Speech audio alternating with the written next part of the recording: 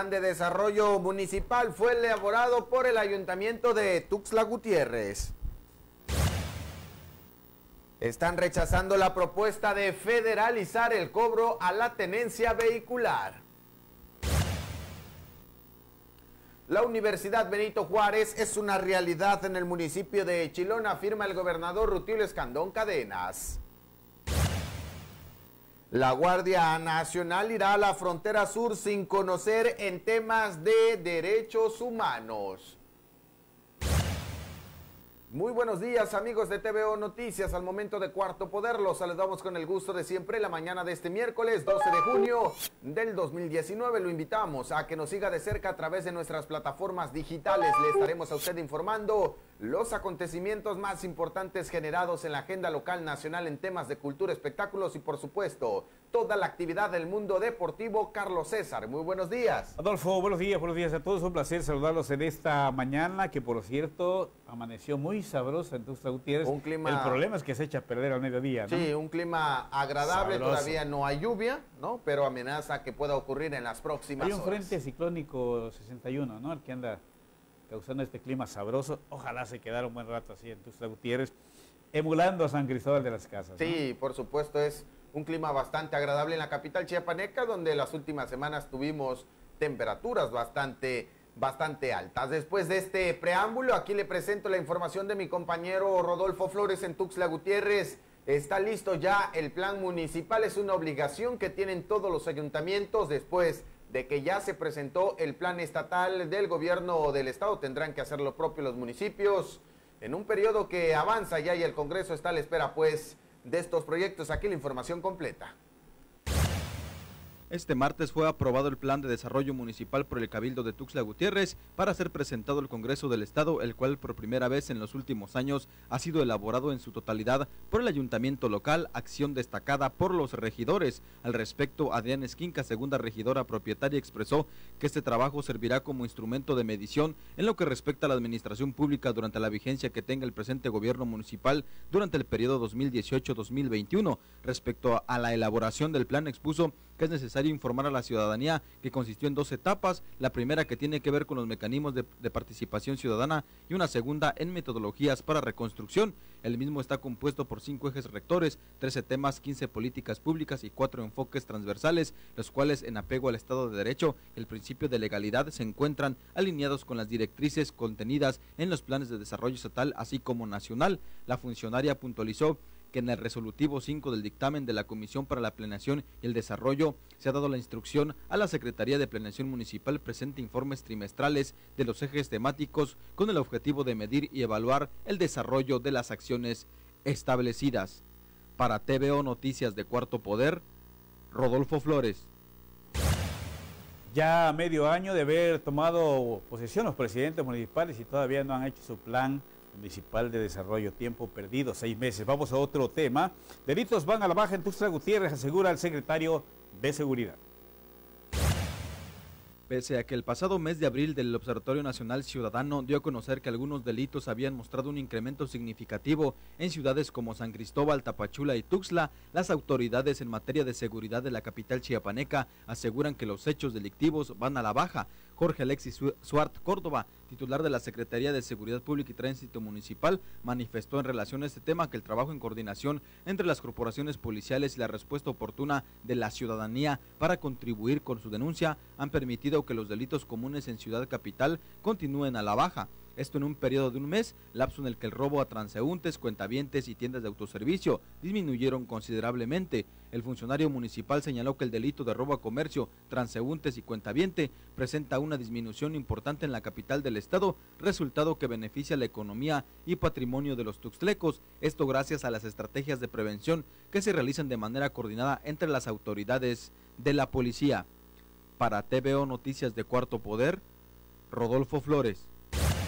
Vamos a más información. El día de hoy se ofrecerá una conferencia de prensa en la Secretaría de Educación para hablar sobre el acercamiento que han tenido con la dirigencia de la sección 7. Mientras tanto, la titular Rosaide Domínguez Ochoa ya le mandó un mensajito a los profesores adheridos a la Coordinadora Nacional de Trabajadores de la Educación aquí en Chiapas. Muy concreto, dice, no renunciaré.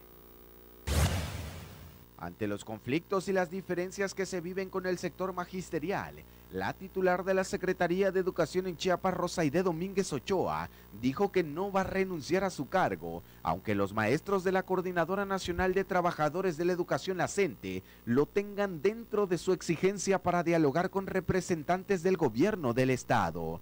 Añadió que tiene el compromiso con la administración que representa el titular del Poder Ejecutivo en la entidad para atender las problemáticas que se viven en el sector en materia de infraestructura y también económica. Tras concluir una reunión al interior del Congreso local, reconoció que la deuda que tienen con los maestros de distintos niveles se mantiene en 1.600 millones de pesos. Sin embargo, se han hecho los esfuerzos para disminuir este pendiente. Para TVO Noticias de Cuarto Poder, Adolfo Luján. Le está rascando la panza al tigre la secretaria de Educación. Que no le busque. Vamos a otro tema. Chiapas ocupa el lugar número 16 en ingresos por remesas. Desde el cuarto trimestre de 2011, el importe de las remesas en el país incrementaron de manera general en 60.02%, mientras que en Chiapas el aumento fue del 64.97% en el mismo periodo. Esto lo dio a conocer el Comité Estatal de Información Estadística y Geográfica a través del documento Chiapas Ingresos por Remesas Familiares. En el escrito registra también que la participación porcentual de Chiapas en el valor de las remesas nacionales aumentó una décima de punto en dicho periodo. Para el cuarto trimestre del 2018, Chiapas ocupó el lugar número 16 a nivel nacional por su participación en los ingresos por remesas familiares.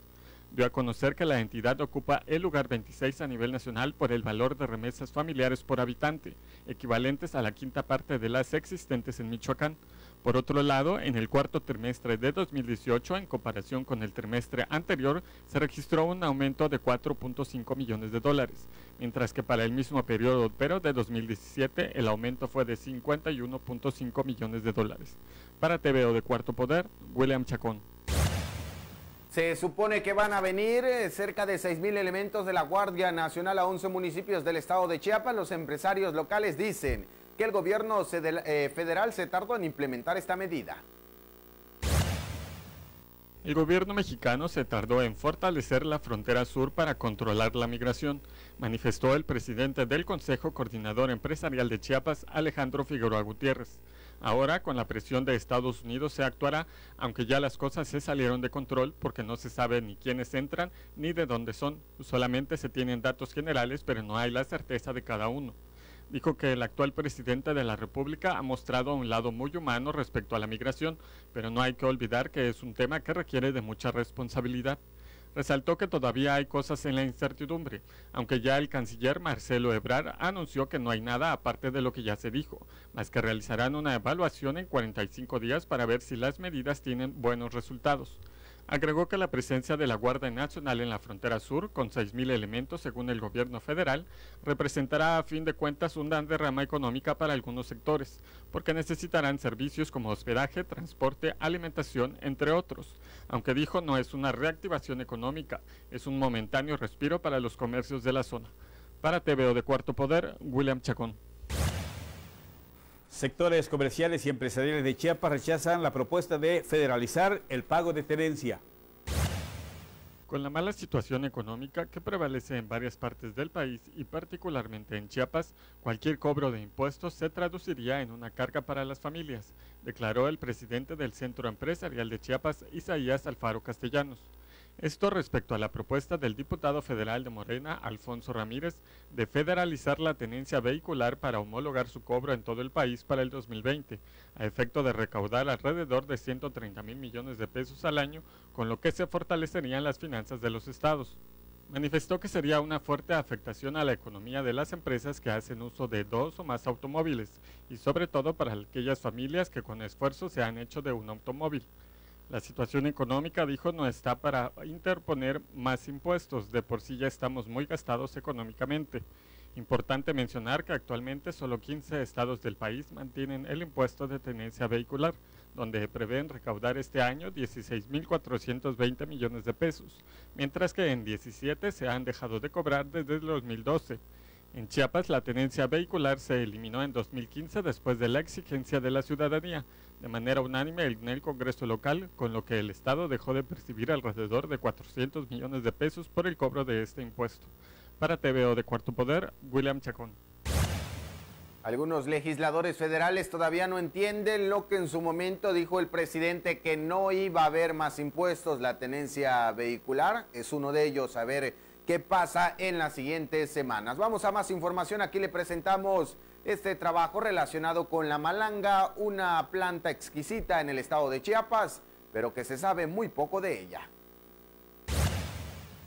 Los trabajos de investigación que se llevan a cabo en la Universidad de Ciencias y Artes de Chiapas, la UNICACH, mostraron ya nuevos hallazgos en la Malanga, una planta exquisita, comestible y con alto valor nutricional, pero que desafortunadamente en la entidad no se le ha dado el valor necesario. Luis Alfredo Gómez Cruz, docente investigador en la institución, encabezó el proyecto de la elaboración de un plato comestible a base de harina de malanga. Fue presentado en el doceavo Congreso Internacional de Biotecnología Vegetal y Agricultura, que se llevó a cabo en Cuba. La planta se obtuvo del municipio de San Fernando y consistió en hacer un diseño experimental con tres nutrientes, la harina de arroz, de trigo y de malanga con la misma proporción de sal y azúcar. Se hicieron los platos y se secaron a 125 grados centígrados durante un tiempo de 20 minutos, en el que se analizó la actividad del agua, la dureza y el color. Las actividades se realizaron en el Laboratorio de Investigación y Desarrollo de Productos Funcionales. Sí, eh, actualmente la malanga no, no, ha sido tan, tan comercializada, entonces esa es la idea, ¿no? De poder comercializarla este, mucho mayor en, todo el estado. Eh, la malanga contiene propiedades infinitas que son muy nutritivas para, para, nuestra salud y entonces contemplamos también elaborarlo en un plato comestible este, que obviamente nos va a beneficiar al cuerpo. Dentro de las primeras conclusiones se encontró que la malanga tiene bajo contenido de agua, es resistente a los líquidos calientes como la sopa, es decir, es viable tanto para su uso culinario como para su consumo humano. El plato comestible forma parte de un prototipo que se ha desarrollado de manera artesanal.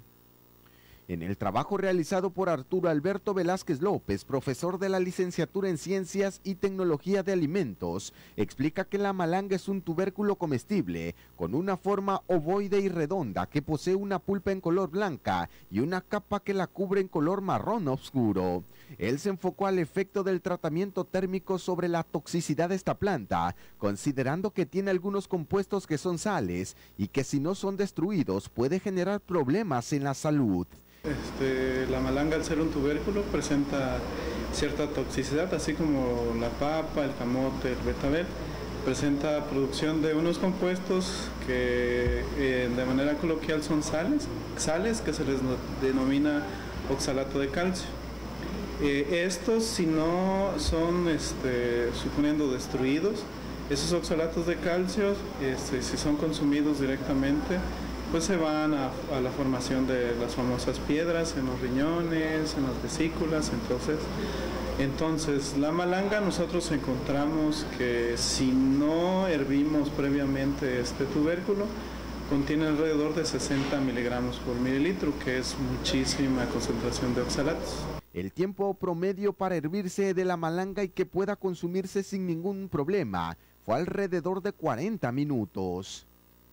Gilbert Vela Gutiérrez, director de la Facultad de Ciencias de la Nutrición y Alimentos de la UNICACH, consideró que estos trabajos de investigación son fundamentales para la UNICACH en dos rubros, tanto nacional como internacional, por las colaboraciones que hay con distintas instituciones. En el plano nacional, primeramente porque el proyecto está eh, auspiciado por el Fondo de, del Consejo Nacional de Ciencia y Tecnología y además este trabajo pues ha sido presentado en Cuba eh, hace unas semanas, eh, dos de los proyectos o resultados de, este gran proyecto, pero también este, nuestros colegas de, de, este, de Veracruz están presentando en unos días también resultados de, los, de, de, de este proyecto, de este macroproyecto en Estados Unidos, en un congreso internacional del Instituto de, de Ciencia y Tecnología de Alimentos en el Instituto Food Technology. Con imágenes de Marcos Osorio, camarógrafo, Adolfo Luján, reportero, para TVO Noticias de Cuarto Poder.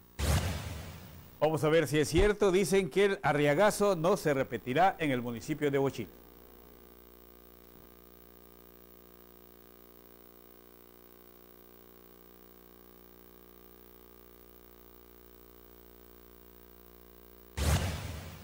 Aunque Gildardo Centeno Moreno presentó su renuncia como alcalde en el municipio de Bochil, el presidente de la Junta de Coordinación Política en el Congreso local, Marcelo Toledo Cruz, aseguró que en este caso no se permitirá un arriagazo, haciendo referencia a que en ese ayuntamiento también fueron obligados a renunciar los integrantes del cabildo debido a presiones políticas. Hasta el momento el recinto legislativo no ha llegado documentación que haga referencia a la separación de las actividades del funcionario municipal, salvo la situación que ya se difundió a través de las redes sociales. Centeno Moreno, a través de un video con una duración de pocos segundos, confirmó su licencia al cargo y que esta decisión la tomó por presiones políticas y para no prestarse actos de corrupción, pero no especificó en qué rubros ni quién ordenó su salida.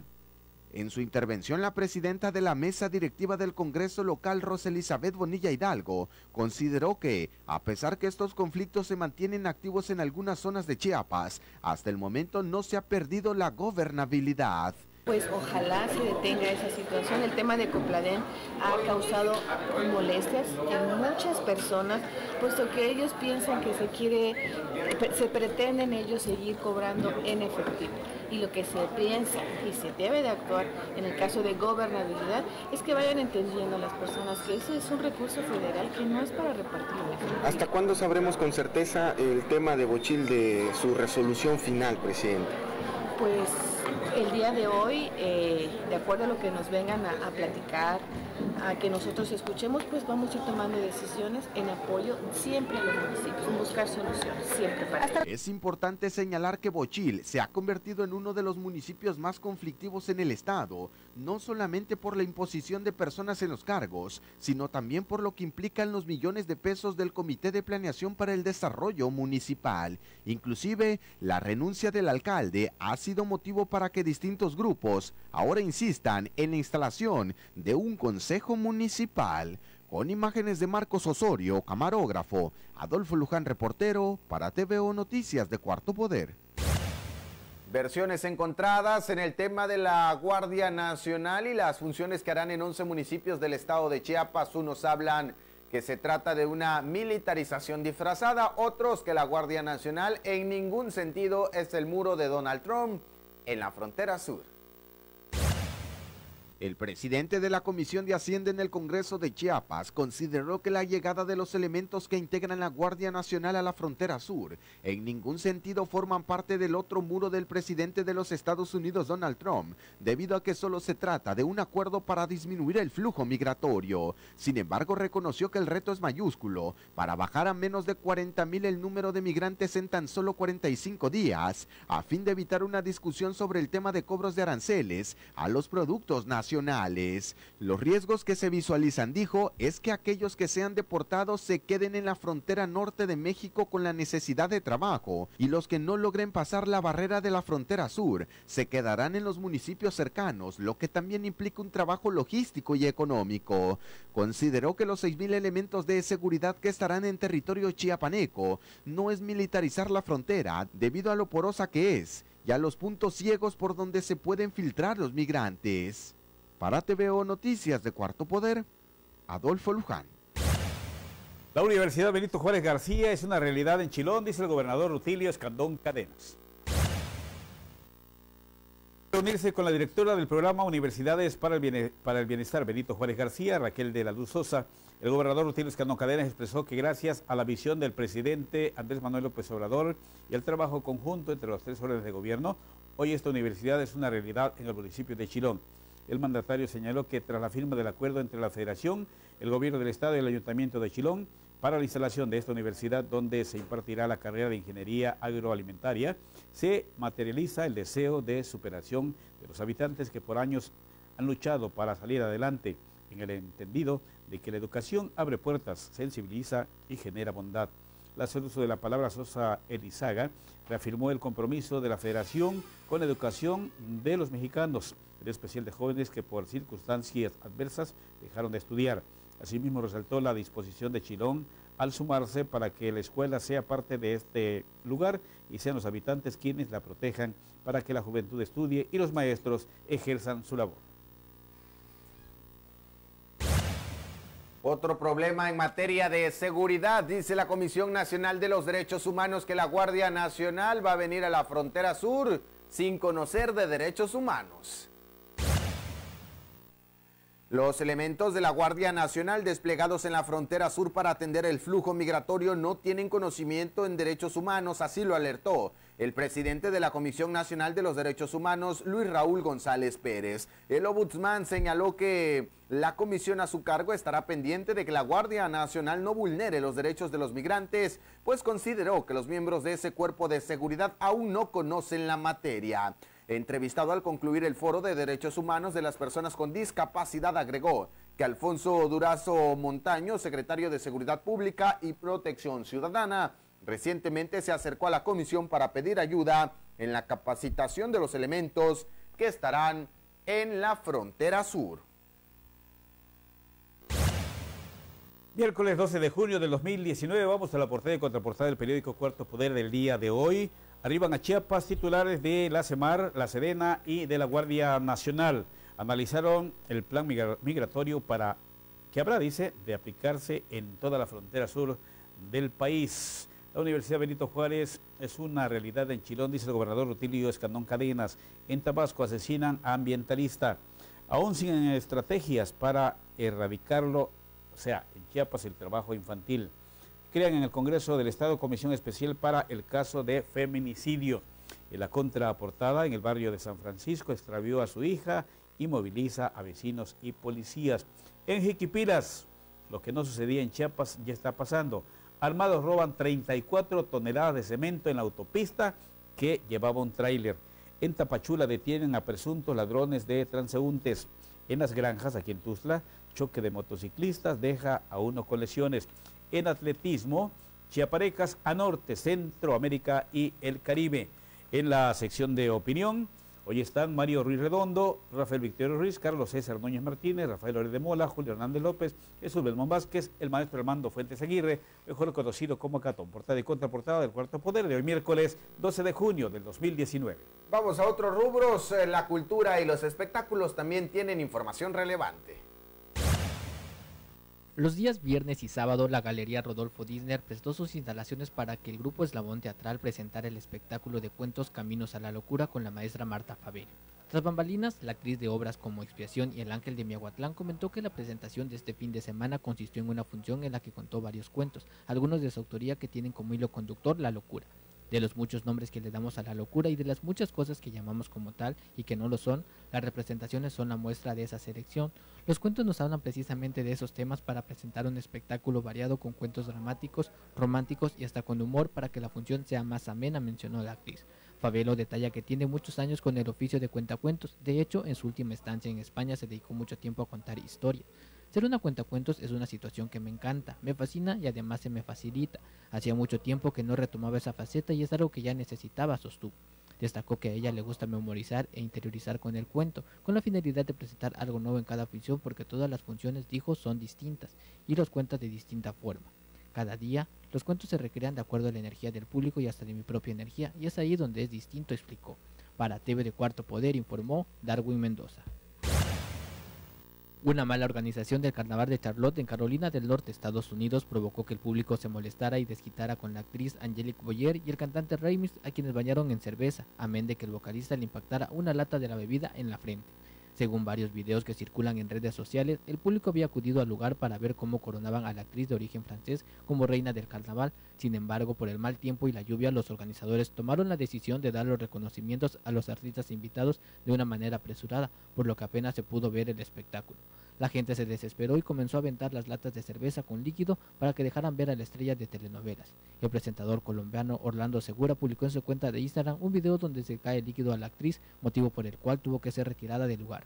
El enojo de la gente no solo afectó a Angelique Boyer, ya que también el cantante de cumbia Remix, quien se encontraba a las espaldas de la rubia, resultó con la peor parte de la furia de las personas, ya que una lata llena presuntamente de cerveza lo impactó en la frente. Para TV de Cuarto Poder informó Darwin Mendoza. Bueno, el presidente de la República, Andrés Manuel López Obrador, recibió ayer al campeón mundial de peso completo, Andy García, allá en Palacio Nacional, y le regaló un billete de 500 pesos. Te dirá, bueno, ¿para qué quiere Andy García un billete de 500 pesos y se llevó 30 mil dólares en, la pelea? Pues bueno, resulta que es simbólico para el presidente de la República porque el presidente, el gobernador del Banco de México, le regaló el billete porque trae la fecha primero de julio del 2018, que fue cuando el presidente ganó la elección. Y además trae, dentro de, todas las claves, trae las iniciales AR, que serían las iniciales de Andy Ruiz. Interesante, además fue, Carlos, Ahí está, mira el encuentro. una charla amena y que funciona ¿no? en el ámbito de la política un poco para desfogar toda esta presión, de toda la presión. mediática que hay con el ahí tema se ve el, billete, mira, y la los aranceles y la Guardia Nacional. Y eh, Andy Ruiz le regaló al presidente una réplica de uno de los cinturones que es de la Asociación Mundial de Boxeo y en el evento también estuvo el hijo del presidente, del que era el eterno presidente de la Asociación eh, Mundial de Boxeo, este, originario de Panamá, por cierto, el, hijo del, presidente, como el hijo del presidente del Consejo Mundial de Boxeo que se quedó, este, el hijo José Sulaimán que se quedó con, el Consejo, como que también es hereditario en, el box este tipo de, cargos, ¿no?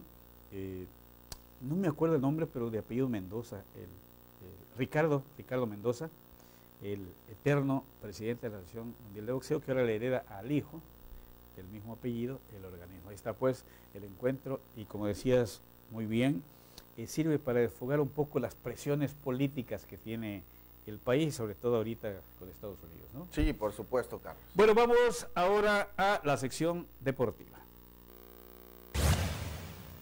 El día de ayer el comité organizador de la Copa Telmex Telcel 2019, encabezado por la Asociación de Fútbol del Estado de Chiapas, dieron a conocer los detalles del torneo interestatal categoría 2001-2004 de fútbol amateur que se desarrollará del 12 al 16 de junio en la ciudad de Tuxtla Gutiérrez.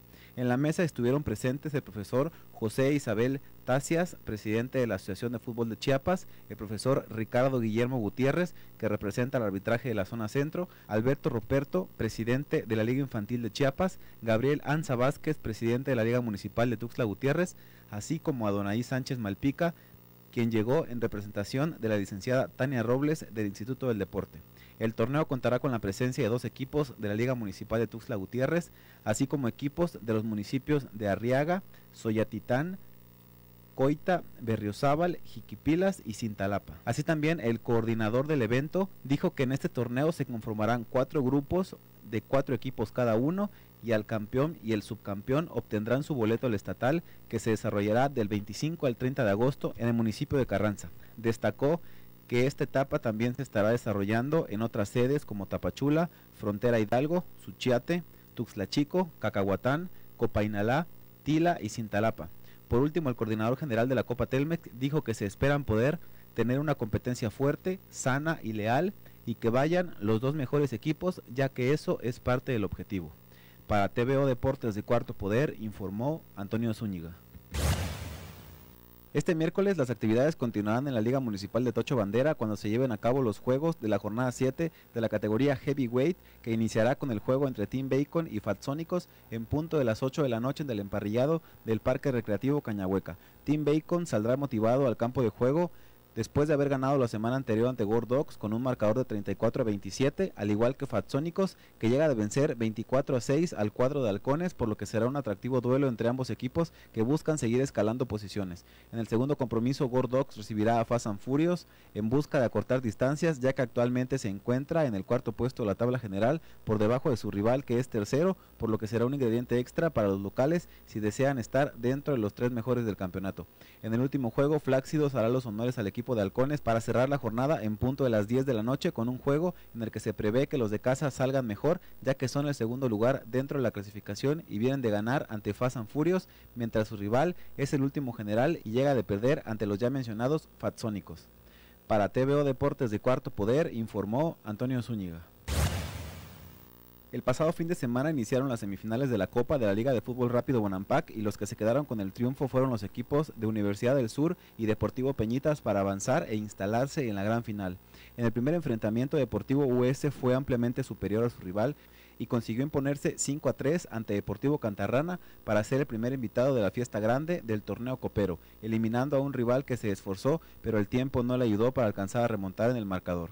En la segunda llave salieron a escena Deportivo La Palapa de mi mamá y Deportivo Peñitas, un juego en el que los locales salían con la obligación de ganar, pero fueron sorprendidos por la visita, que no se guardó nada y terminó por amarrar su boleto a la final con un marcador de 6 a 2. Así también se llevaron a cabo los juegos pendientes del torneo copero y de la liga en donde Banco de Sangre igualó a 2 ante la pandilla, mientras que Independiente no pudo y fue derrotado ante Deportivo Linces por 2 a 0.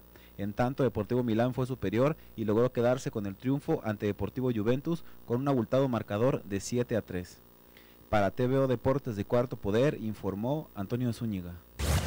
Mire, vamos a ver estas fotografías de los operativos que realizan en la salida de Tuxtla Gutiérrez, en la famosa Pochota, la ex Pochota, porque ya desapareció desafortunadamente.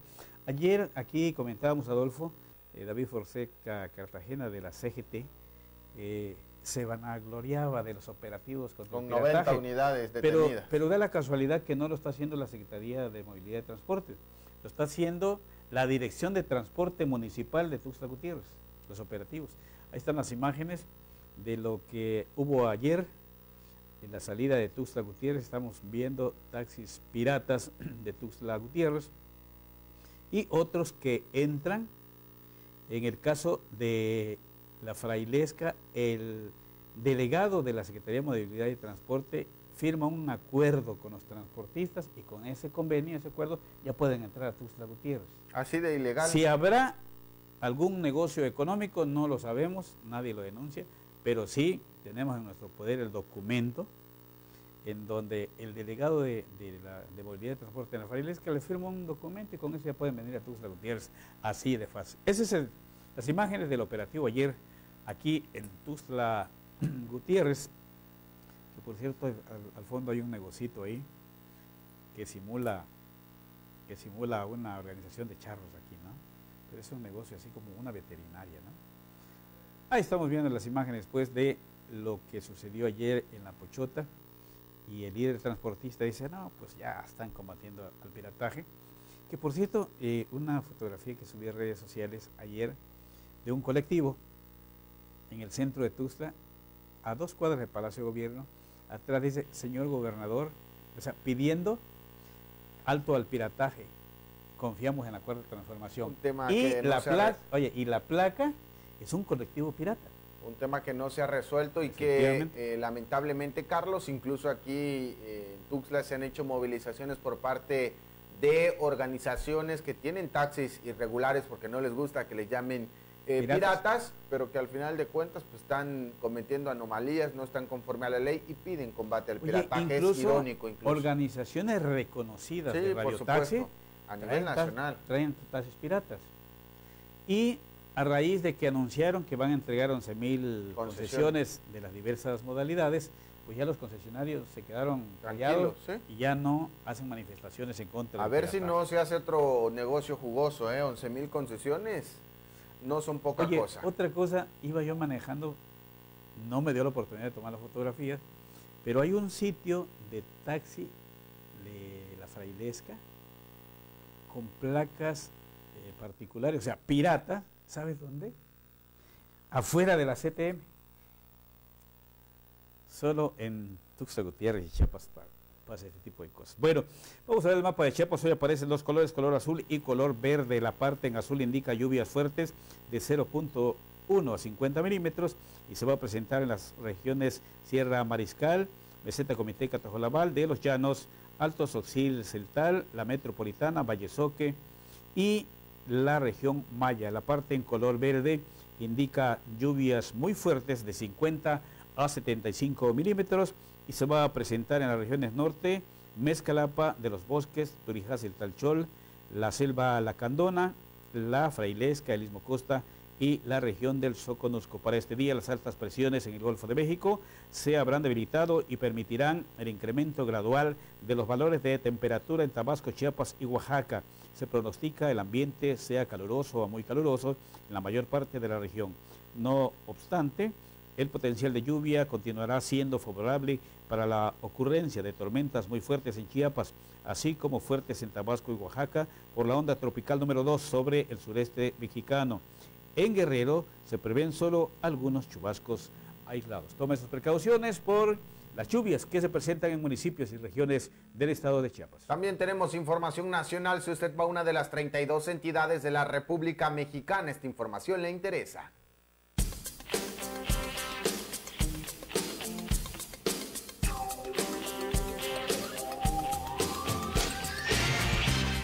El Servicio Meteorológico de la Comisión Nacional del Agua le informa el pronóstico del tiempo. Para hoy, el frente número 61, con características de estacionario, se disipará sobre las costas de Tamaulipas, mientras que por la tarde se prevé la llegada de un nuevo sistema frontal a los estados fronterizos del norte de México, mientras que la onda tropical número 2 se extenderá al sur de las costas de Oaxaca.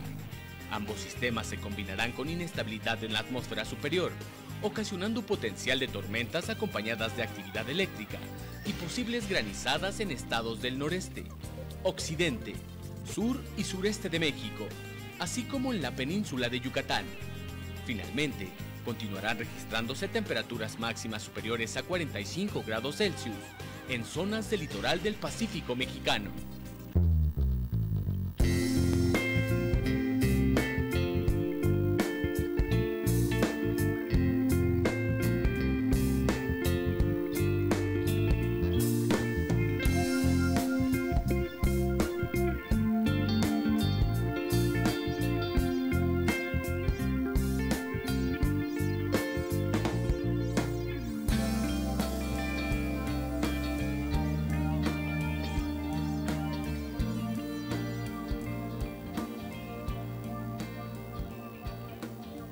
Con eso llegamos a la conclusión de esta primera emisión de TVO Noticias al momento de cuarto poder. Recuerden, punto de las 2 de la tarde tendremos más información en la segunda emisión. A nombre de todo el equipo, nuestros compañeros Marcos Osorio, Max Otero en los sistemas informativos, el ingeniero Armando Barrientos en la edición, Alex Rosco y Alex Castillejos en la producción, el ingeniero Juan Carlos, Carlos César. Gracias, buenos días. Gracias, Teodolfo, sobre todo a usted que nos ve y nos escucha. Buenos días, hasta mañana.